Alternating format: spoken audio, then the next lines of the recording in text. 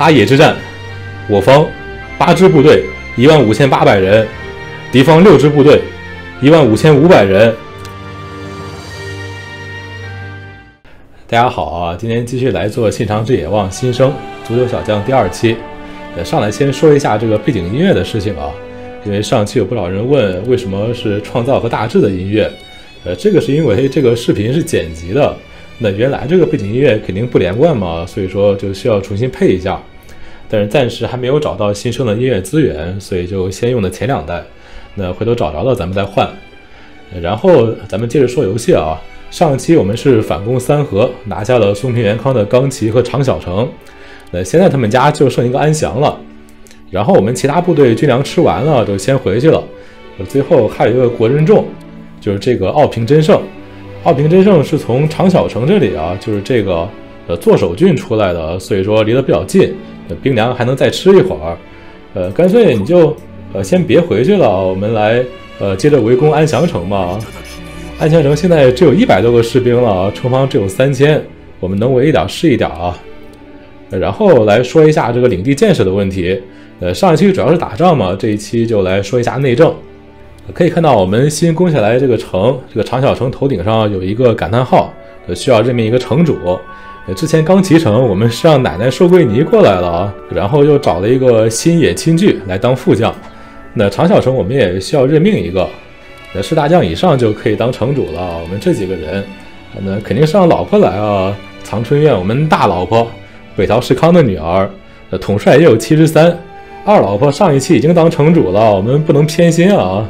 啊，那就来吧。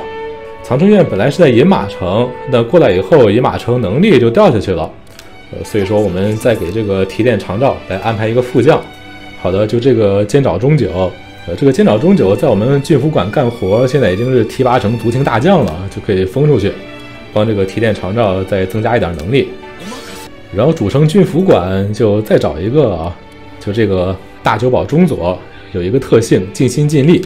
可以提升聚落掌握的速度，然后其他几个城我们现在人手比较缺，这城主能兼任的就先兼任一下吧。这个范伟连龙，还有奶奶寿桂尼也来兼任一下。我这钢基城里面六块地有五块现在都是奶奶在管。好的，我们出征的家臣就都回来了。哎，这怎么五名赖民弑郡啊？五名金川世真进入了郡府馆。哦，这金川世真他不是一个人，啊，这个其实还是翻译问题啊，应该是金川世真等五个人。好的，现在奥平真胜已经包围了安祥城，每天掉三十耐久，那再过一百天也就围下来了。但这个兵粮显然不够了。然后右下角显示长尾景虎改名为上山正虎，而且是被任命为关东管领。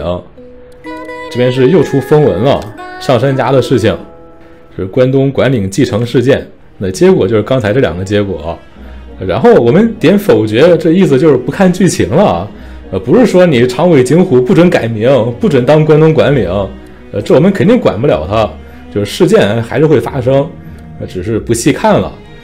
包括这边还有一个鬼师和林中，就是师和依存要死了，呃，这我们也不可能说你不准死，没这个本事啊。我们这局虽然开的是长寿，但是像这种剧情杀还是会发生的。这个奥平真胜兵粮也不多了啊，好，我们就换一个吧。这个长小城现在恢复点兵力，我们就老婆藏春院过来接着围城。好，到了四月份，我这边说朝廷派来的使者到了，一定要见我们一面。这来了一个公家，说对金川世真所作所为非常钦佩，要和我们和睦相处。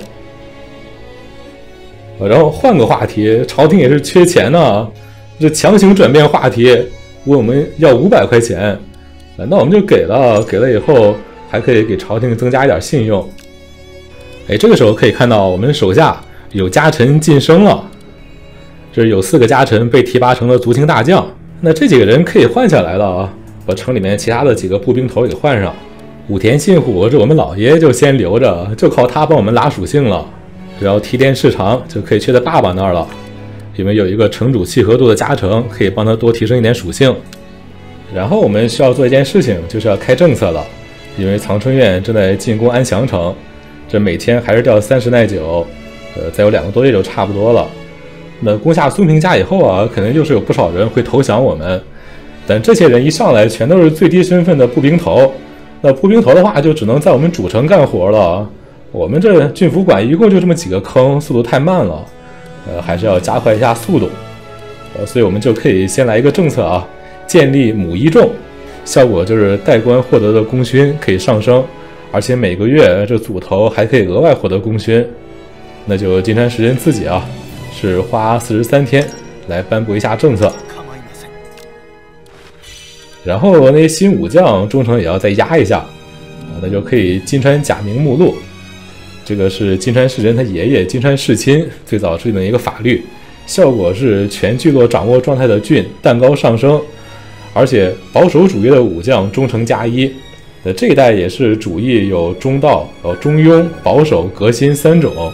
那德川家的武将还是有一些是保守主义的啊，所以我们就啊奶奶寿贵尼来吧，这是六十八天。呃，剩下的政策我们可以稍微再等一会儿。哎，这个水野信元过来救松平元康了，哇，他带了一千人，那我们赶紧再派点援军。好，我们奶奶寿贵尼在冈崎城，赶紧过来支援一下。哦，这个时候我们已经成功建立了母一众。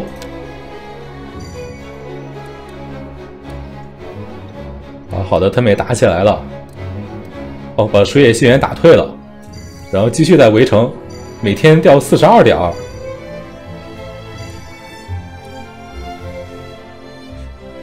啊！大型台风过境了！哇，这千万不能吹到我们这儿啊！哦，去北边，哎，怎么还在这边绕了一下？这这有没有吹到我们这儿？哦，好像没有吹到哈。看了一下，应该是没有吹到我们金川家的领地。安祥城只剩一百六十八的耐久了，然后这边又来了一个挖角，哎，怎么又是千宗义？目标的领主拥有特殊的本领，他是谁的人呢？啊，这个千宗义现在还在松平家，啊，那就松平家我们马上打下来了，那就不花这个钱了，马上可以直接招降了。哎，此地人流来往繁杂，如果有个市场的话，来看一下这个啊。这边有一个新的任务叫拓张市场，这个就是一个特殊的聚落。好，我们来看一下啊，可以看到啊，有度郡这边是有两个高级聚落，一个就是大市场，一个是交易港。之前我们是已经把这五个市都给掌握了，那掌握以后啊，就可以解锁这种商业型的高阶聚落。在大地上等一下啊，就会出事件。这个就是建设高阶聚落大市，那我们金川市真就过来建设一下，花六十八天就可以了。那这种高阶聚落啊，并不是每个地方都有，可以看一下，我们这个领地里面有交易港、金山厅、大农村、大市，还有木马场，呃，这些都是要先掌握这个郡的所有的相应的聚落才可以出发。那这个分布呢，郡府馆底下。有五个高阶聚落，呃，说明这个郡府馆啊就非常的好，非常有发展潜力。啊，我们奶奶攻下了松平家最后的一座安祥城。那现在松平家已经灭亡了。哎，这怎么显示织田家和松平家还缔结了十二个月同盟？我这同盟一点用都没有。然后捉拿到了敌将，那我们来处置一下。这应该是有将近二十个人啊！我，千宗义也在里面，忠诚只有三，那我们全部招降。哦，松平元康说：“本家一统天下之路已被断绝，今后将尊我们金川世真为主，为天下尽心尽力。”有十五个人投降了我们啊！但是高丽清长说什么刚刚失去本家，现在心乱如麻，这不投降。啊，这这我们妹妹赖明基也不肯投降我们，哎，啊，那没办法啊，这先放了吧，看以后如果有机会的话，再过来招降。那这些新来的武将就全都成了我们的步兵头，然后松平元康是成了师大将。那顺便也是完成了这个增强麾下的任务，让我们找二十八个武将，然后刚才我们一下子四十二个了啊，这肯定完成了。然后这几个提出建议的武将又可以获得六百功勋。那来看一下我们新投降的这些武将啊，啊，千宗义对我们忠诚也是只有三。本家乃仇敌，与当家不相为谋。啊，还有野心，啊，这个千宗义一下子减了四点，狼子野心。下面还有本多正信、石川树正，呃，这几个人忠诚度也不是太高。八就是这一代忠诚最底线了啊，如果忠诚小于八的话，就会变成红色，很有可能叛变。那这样子啊，我们把刚才那几个就忠诚度比较低的，先任命成郡府馆的代官。就让他们赶紧升官。再看一下德川家康啊，呃，投降以后，现在是我们的士大将，忠诚有十三，以身为一门众而自豪，因为他是我们的妹夫啊。但我们妹妹跑了。呃，另一个忠义乃武士之本啊，这是他投降以后就天天对我们表忠心，说本来议员大人走了以后啊，万分悲痛。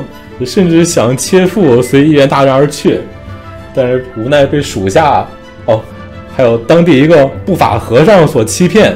呃，当时我是大声呵斥：“你这是大逆不道！”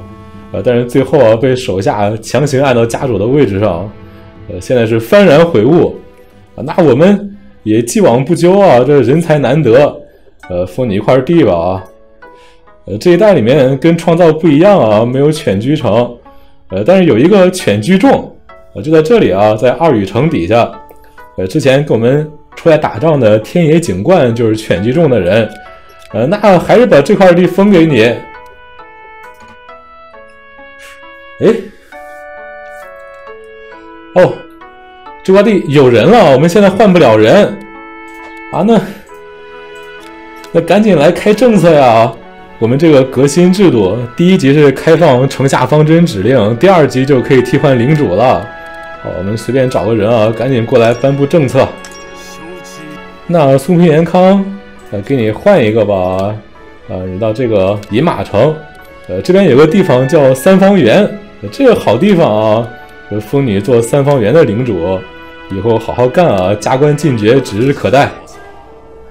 啊，但是咱们这个玩笑归玩笑啊，松平元康以后肯定还是要当城主的，因为这一代里面城主有身份的限制，其实人手非常短缺，而且这个城主能力也是非常重要。我们不可能将来一直让这种范伟连龙这帮人带兵啊，没这个能力。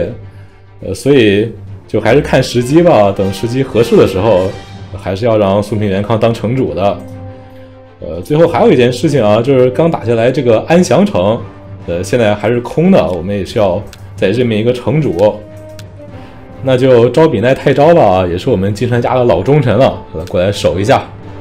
其实这个安祥城啊，有一个问题，就是它离郡府馆太远了，上面就显示啊是统治范围之外的城。那可以看一下，选这个支行就可以看到，这条红线就是我们现在以郡府馆为中心的统治范围。所以说，这个安祥城，包括如果我们再向北向西的话，这些城都不在我们的统治范围里面了啊。那我们将来肯定是要搬家的啊，但是现在先不搬啊啊，因为一个是搬家特别花钱，呃，第二个我们也需要把郡府馆好好建设一下。所以刚才看到了啊，郡府馆这个收入弄好的话还是非常高的。那现在搬家的话，其实有点得不偿失啊。那超出统治范围，一个最直接的影响就是它的收入会大幅下降啊。比如说，可以看一下啊，选金钱收入啊，我们其他的城这正常都是一百多的收入，然后安祥城一个月给我们九块钱，呃，还是有点吃亏。那我们这样子啊，我们可以新设一个军团，奶奶寿贵尼现在身份是家老，就可以当军团长了。然后把这个安祥城也给他，呃，顺便我们还可以再分给奶奶几个步兵头，那就这几个人啊，让奶奶帮我们练一下级。那分了军团以后，安祥城还有这个钢骑城的收入，就等于说到奶奶这个军团里面了，就不会浪费了。那很快，我们这个金川假名目录一级已经成功颁布了。那金川诗人就说啊，以金川之名，禁止行使私人权利。然后到了七月份，我们又颁布了革新制度一级。那现在就来颁布第二级。啊，这次是需要三个人。然后之前颁布的这个母一众政策已经生效了，可以看到这些步兵头啊，就都有事情做了。以前没有这个政策的话，他只要没有领地就没有功勋。但现在的话，就可以安排他们呃做杂事儿、做秘书，还有整理文书、呃搬东西什么的，每个月还可以获得一些功勋。到了八月份是发生了川中岛核战，呃这个剧情我们都熟啊，就不看了。山本勘助和武田信繁战死，我们就向武田信玄表示慰问。然后现在我们是已经在有度建好了大势，而且是颁布了革新制度二。我们只要有一级的革新制度，就可以啊对这些城主来设定城下方针，让城主自己来建设城里的设施。但这样是需要消耗劳动力的。那我们现在每个月一千多的收入，这个还是比较充裕的啊，啊，所以我们就可以呃再来开一个政策，叫移交裁量权，效果就是城下方针的设定不消耗劳力。啊，这朝廷又找我们要钱了，啊，又是五百块钱，我们给了。那现在十月份，我们是又开发了一圈军府馆的聚落，啊，这个时候啊，就来建设一下城下厅。可以看到，这个城下厅是有九种建筑，呃，这些建筑的话是可以增加钱粮收入，增加士兵数量，增加兵粮上限，增加军粮携带天数，还有提升骑兵和铁炮等级。啊，那这个到底怎么建？我自己的一个思路是把城分成两种类型，一种是商业城，一种是军事城。呃，但这个划分不是绝对的啊，其实就是一个程度问题。那最典型的商业城就是全都造商人厅，增加商业赚钱就可以了。但看情况可以补一个灌溉水道，主要是为了防灾。比如说之前看到那个台风啊，防止那种台风毁坏我们已经掌握的聚落。那离前线比较远的那种大后方的城市啊，就可以搞成这种纯商业城啊。但如果我们想让这个城出兵的话，就要把商人厅换成下面这几个建筑。呃，其中两个非常重要的就是米行和辎重站。米行是增加军粮上限，辎重站是增加军粮携带天数。第一级可以加十五天。那我们把辎重站等级升上去，再配合政策还有战斗准备，也是可以比较轻松的把这个军粮携带天数。给增加到二百天以上。那如果一路上再修好军粮库的话，就军粮消耗减半。呃，其实出去打个一年多是没什么问题的。骑兵和铁炮就看情况啊，选一个就可以了。比如说选马厩，那这个城里面就多放有骑兵技能的武将，呃，尽可能把等级堆高。铸造厂是比较特殊，它是要求城里面必须有金山或者银山。我们巨府馆是有金山的，但是暂时还没造好。啊，这一次就先造一个米行，把军粮上限先顶上去。哦，这边是来了一个可以建设港口，啊，又来了一个开垦农地。其实这个之前有一点失误，因为这种高阶聚落我们是不能主动造的，是要等这种一般的聚落掌握好以后，里面这些民众来提议。但如果有几个高阶聚落都符合要求的话，那先提谁后提谁也不好说啊。我们郡府馆的美岛里面是有金山的，呃，其实应该是其他几个郡先不要掌握满，把这个金山先触发出来。金山造好以后就可以造铸造厂，这个收入会非常高啊。但是现在大家这基本上都满了，呃，所以金山被挤到后面去了。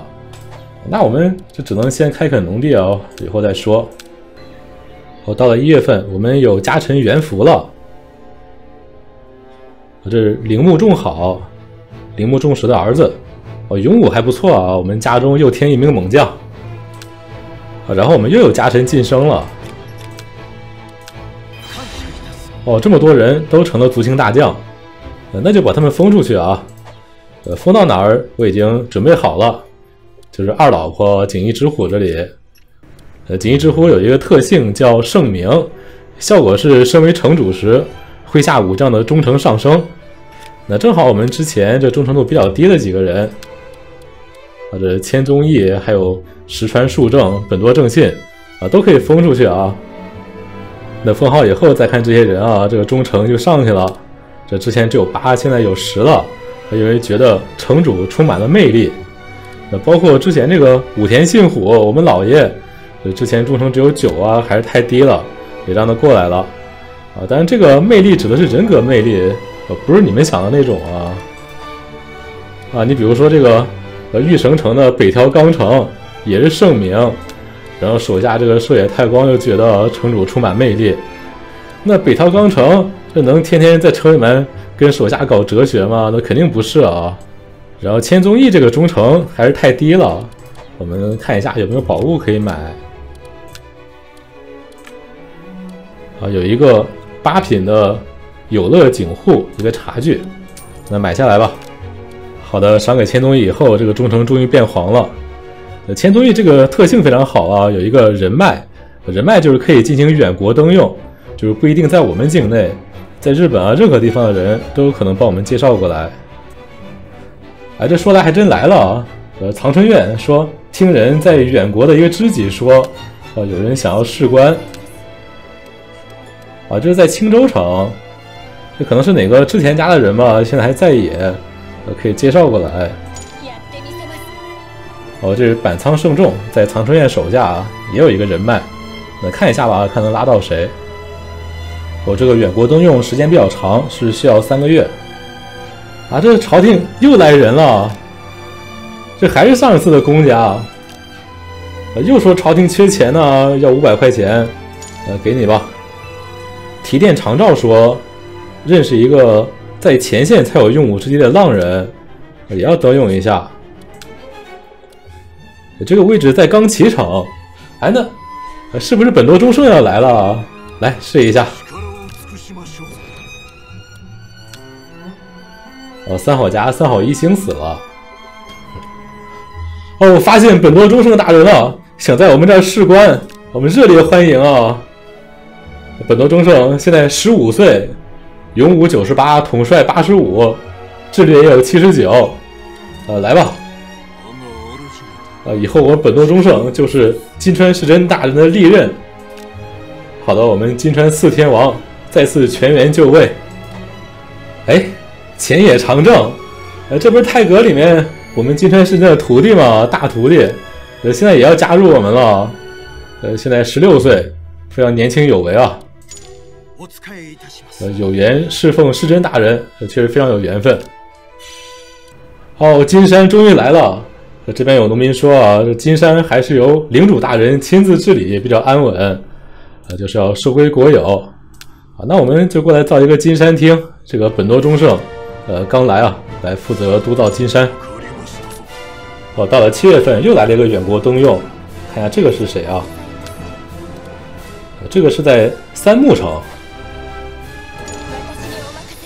哦，钱宗义说要利用他呃喝茶培养的人脉，帮我们介绍浪人啊，呃批准了。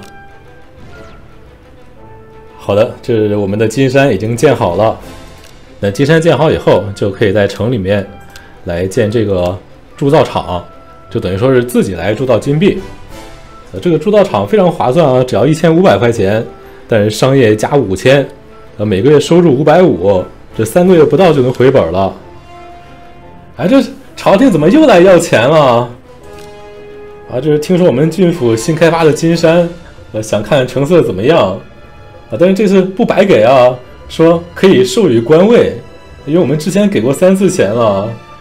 这天皇也是说了啊，只要我们投币，就可以任命为左兵卫大尉。哦，锦衣之火又说，听闻中村中资哦想要加入我们金川家。这个人智力和政务还不错啊，那那来吧。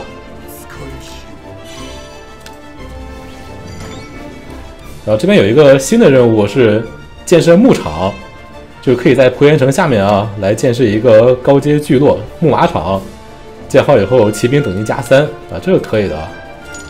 又过了一个月啊，我们的铸造厂终于造好了，现在收入一个月是两千七百块钱。呃，这个收入水平可以看一下啊，来看一下这个金钱收支啊，我们金川家遥遥领先啊，这每个月加上奶奶那个军团，可以有两千八百块钱第二名这个三好家只有一千九啊，啊，那这个时候我们的领地开发已经是差不多了，我们就准备啊继续西进，来攻打织田，为父亲大人报仇。呃，这样的，我们首先还是把奶奶这个军团给解散掉。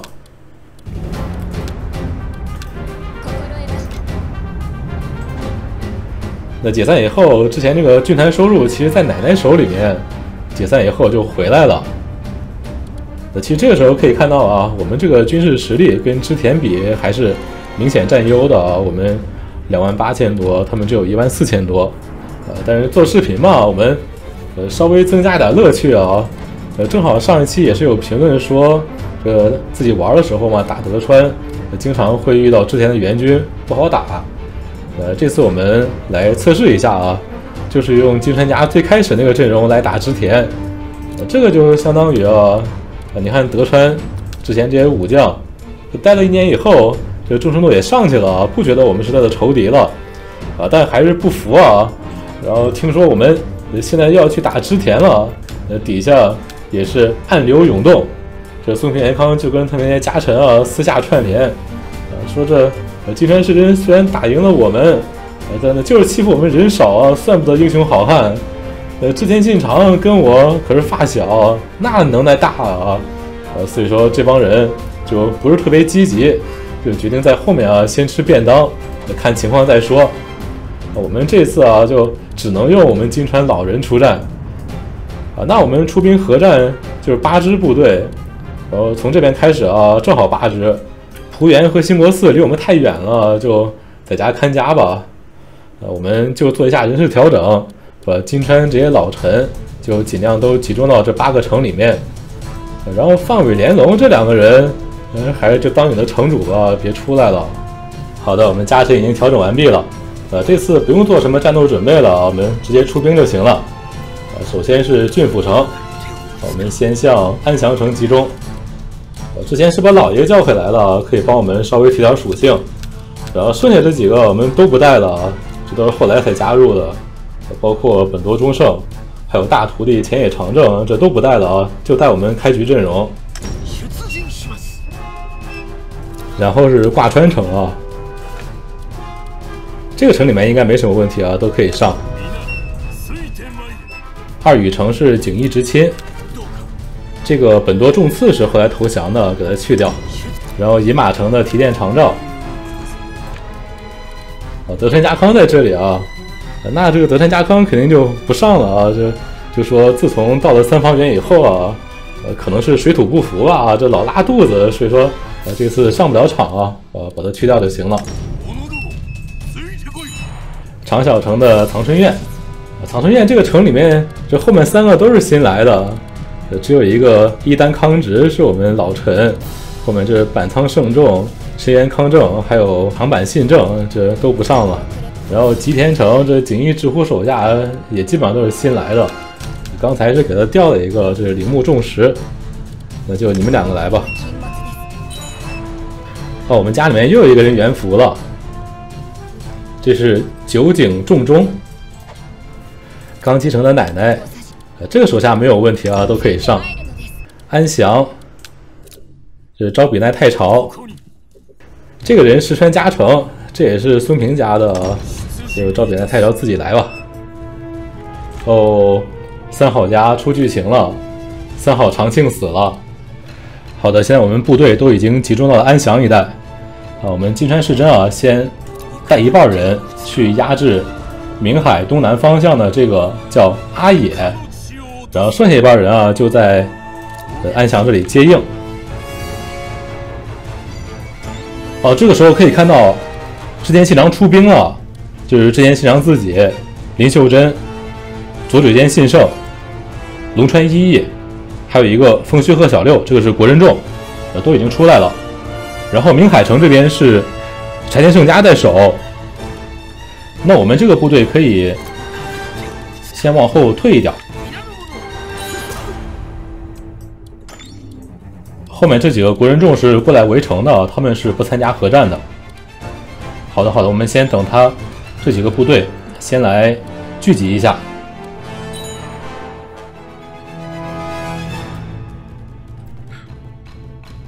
哦，足利义辉，这足利义辉要被三好家杀掉了。永禄之变，足利义辉死亡，足利一招细传藤校销声匿迹。好的，这个信长他们家也集中差不多了，那我们来继续到这个阿野，准备合战。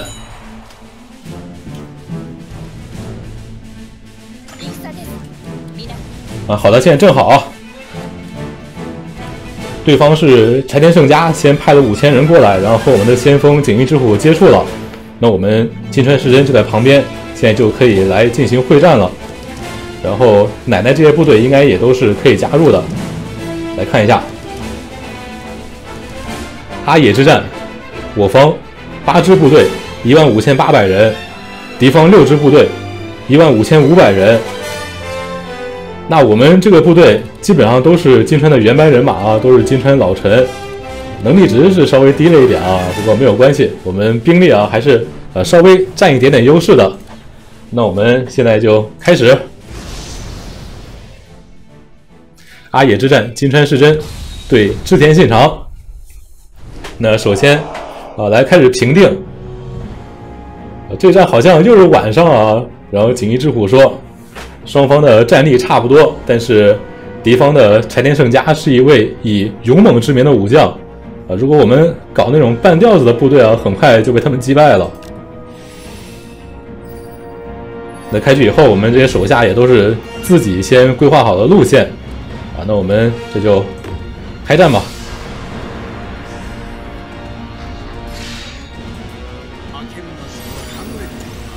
好的，上来先看一下我们啊。我们这个局势，我方的部队基本上就是一个比较平均的配置，然后敌军这边，呃，柴田胜家是对方的先锋，然后后面是丰须贺小六、林秀珍、佐久间信胜，左路是龙川一义，然后信长在最后。那这个布置啊，我感觉他们明显还是右路比较集中，然后。柴田胜家应该是会走这条路，但这条路，呃，看地形是一个谷地，然后两边都有这种制高点。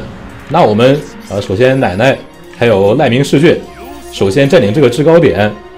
呃，这个制高点可以看到点上去以后啊，它会有一些红线，呃，这个就说明是它的可以射击到的位置。那提点长照就。先到这里来吧，我们在这边啊等一下柴田胜家，看能不能把他给勾引过来。然后左路是锦衣之虎，锦衣之虎对面龙川一役，我们兵力还是稍微有点少，那就金川世真自己啊上去支援一下。锦衣之虎先到这边吧，长春院就去占领北边的这个制高点。那最后我们右路锦衣直亲和招比奈太朝，对面林秀珍这个稍微弱一点，我们往前走就行了。好的，这就正式开始战斗。哦，对面这个柴田胜家果然是过来了，然后我们先占领制高点。好的，奶奶首先压制了右边的制高点。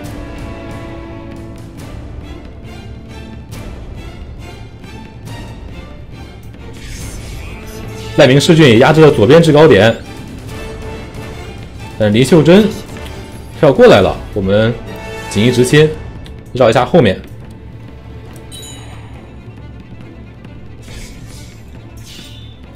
陈先生家压制的要地，但这个时候我们已经可以从高地上向他放箭了。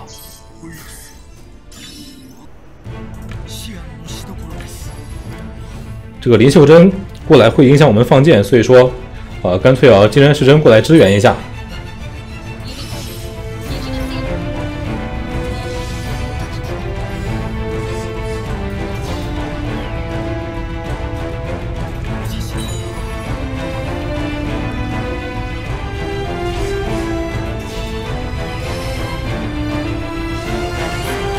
提点长照，一番枪首先立功。那锦衣之心赶紧过来夹击林秀珍，金川时针也过来。锦衣直虎这个龙川一役，他的攻防有点高，我们往后退一点。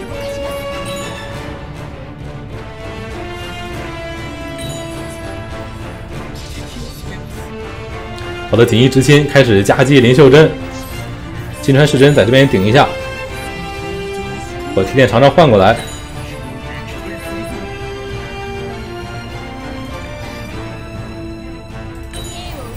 锦衣之虎先往后跑吧。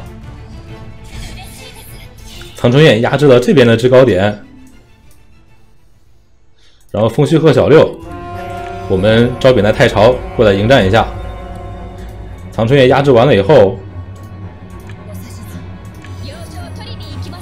好来断一下啊龙川一的后路。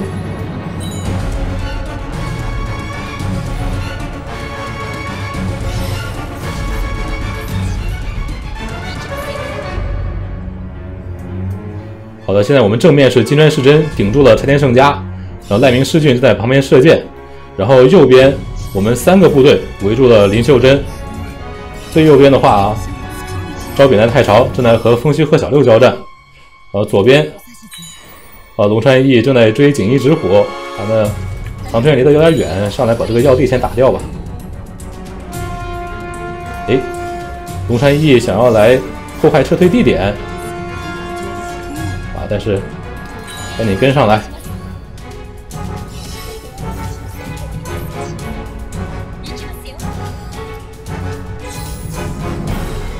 哦，柴田胜家发动战法，柴田冲锋，哇，一下打我们七百多人。龙山一义想要去，哦，他去夹击，去夹击金山世真了。我们老婆赶紧过来支援一下。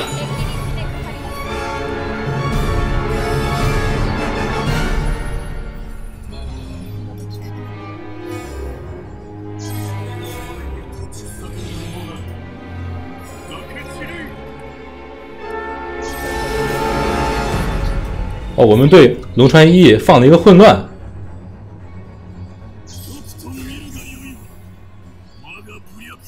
陈天胜家还有最后三百多人。哦，我们士兵累了，但是长春院压制了对方的要地，那就来吧，再占领一个制高点。锦衣之心也累了。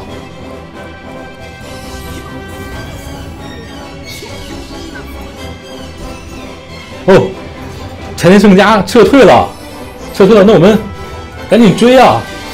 这个长春院也来把柴田胜家给堵住。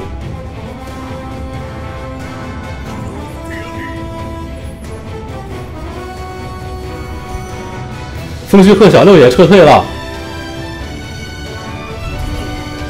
柴田胜家全军覆没，金川世真阵斩佐佐成正。好，那赶紧回来吧！这个龙川义还有一千多人，呃，长春院还是来进攻制高点。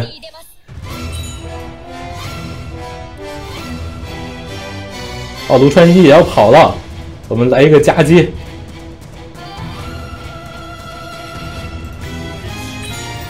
哎，信长好像动了，他回去防守大营去了。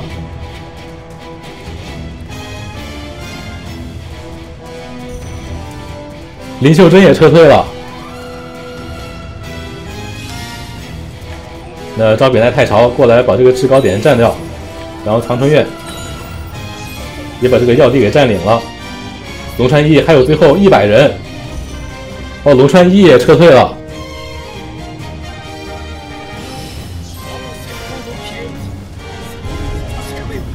龙川一全军覆没。那我们全军来进攻中间这个要地，对方士气已经不多了。林秀珍全军覆没。啊，这个时候我方已经占了绝对优势，家臣都说我们发起总攻，拿下对面这个撤退地点。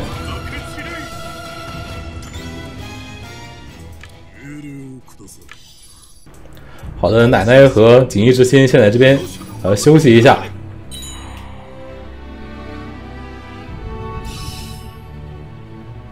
哎，信长这是要过来，要过来打我们的制高点吗？我们已经占领了中间的要地。哦，士气条又往右边走了一大格，呃，最后一点点。好的，我们招北奈太朝压制了制高点，那现在的敌方士气条完全空了，对方无心恋战，全军撤退。我们这仗就是优势获胜，打空了对面的士气。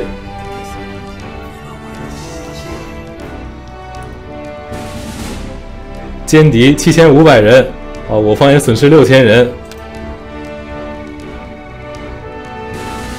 好，那这一战里面，我们金川世真就是击破一支部队，而且阵斩敌方大将佐佐成正，战功第一。呃，寿贵吉我们奶奶战功第二，老婆唐春燕战功第三。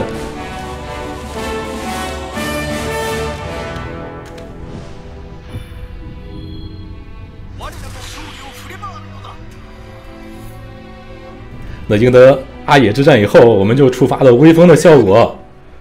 这斋藤义龙在道叶山城里面说啊：“打败织田家了吗？做得好，金山家，我就喜欢强者。”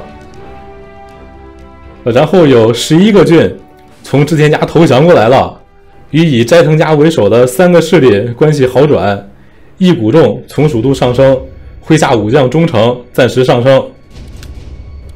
那打赢了阿野之战以后。这田家这边这些郡全都投降了，现在明海、那古野就两座孤城，那我们这全军压上吧，把明海城还有那古野再打下来。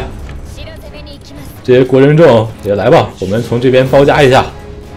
然后看一下我们这个外交关系啊，这斋藤家显示和我们关系非常协调，对本家的权势甘拜下风啊，还有六角和北田也是。哦，还有武田家和北条家，那都是对本家的权势甘拜下风。就是消息传出去啊，说足球小将战胜织田信长，那所以周边这些大名啊，对我们刮目相看。那松平元康还有之前他们那些家臣也都出征吧，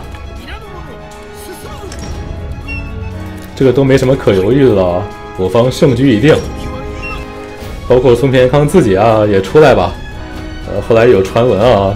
说这个松平元康正在城里面吃便当，呃，突然得知金川世真大胜之前信长。就在这个时候啊，城下来了一队士兵，在外面放了一阵铁炮。呃，之后松平元康立马率兵出城，高喊“敌在青州城”。呃，从此以后啊，松平元康对金川家是忠心耿耿，呃，再也不提独立的事儿了。好的，我们郡府馆最后六千多人也都带出来了，我们郡府以西已经是全军出动，有几个国人众。这也都出来吧。好的，我们现在已经把明海城给围住了。金山世真正在率军攻城。啊，这明海城里面柴田胜家这攻防都已经变成零了。啊，我们现在攻下明海城。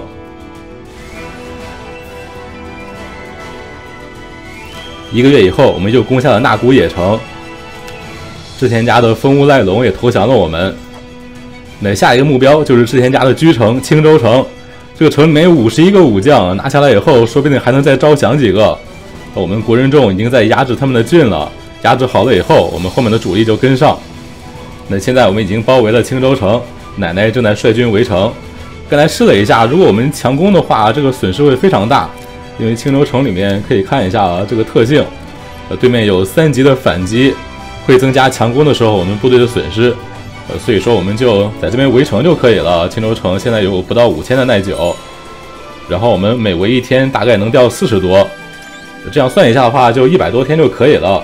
我们就是前面先围着，然后后面的部队粮食不多了，就在纳古野城里面先吃自己城的军粮，等我们前面的部队军粮没有了就撤下来，后面的部队再顶上。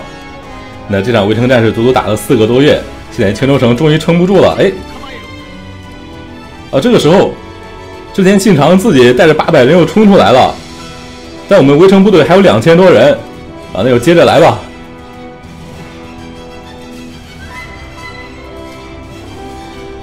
松平元康军粮吃完了，撤退了，然后唐春燕也撤退了，但是我们已经击破了织田信长，青州防御还有最后两百多。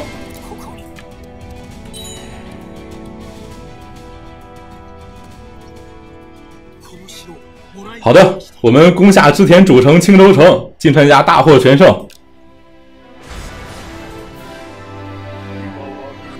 还捉拿到了敌将，来招降一下。哇，这么多人！哎，这毛利新助，这不就我们的杀父仇人吗？来，把他点下来。然后其他人，我们先来招降一下。哦，丹羽长袖投降了。呃，啊，这女子晴酒怎么也在织田家？呃，毛利新助，我们杀父仇人，来斩首示众。那其他人就先放了吧，我们下次可以再试着招降一下。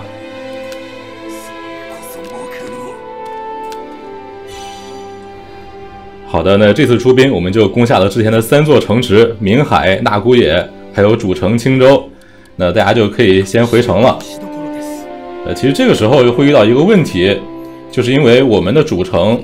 在郡府，呃，这样的话啊，新攻下来这些城啊，都会超出我们的统治范围，我们就要考虑搬家的事儿了。那下一个搬家的据点呢，是暂定是饮马城，就是后来的滨松城。呃，这样的话，应该能把这些城池啊，先纳进我们的直辖范围。